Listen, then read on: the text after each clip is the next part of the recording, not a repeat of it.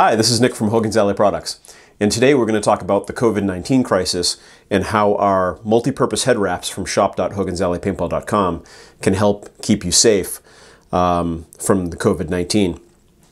So as you know, the CDC is recommending that people make masks at home out of flannel, and what we have here is a quick, no-sew, rewashable option uh, that's relatively inexpensive to keep you safe.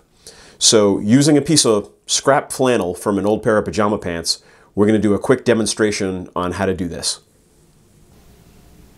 So we're going to start off by taking the multi-purpose head wrap and folding it in on itself, like so.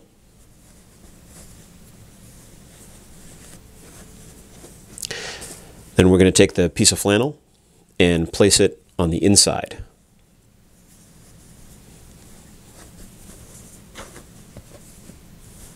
And that's all there is to it.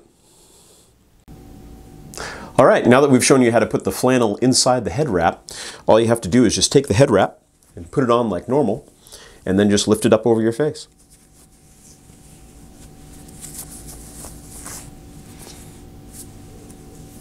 You can pull it down at any time that you want, pull it back up,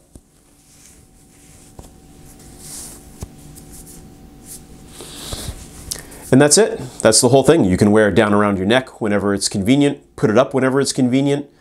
It's a great thing uh, that can help you out, and it's available at shop.hogansalleypaintball.com.